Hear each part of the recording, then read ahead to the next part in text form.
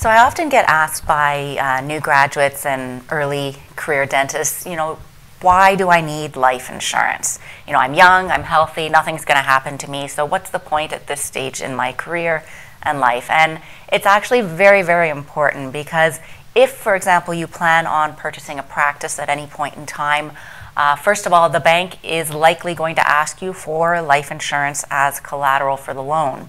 If you already have life insurance in place, it just makes that loan process that much easier. Because, you know, I can't tell you how many times I've had dentists call me from their banker's office saying, I'm buying a practice tomorrow, I need life insurance.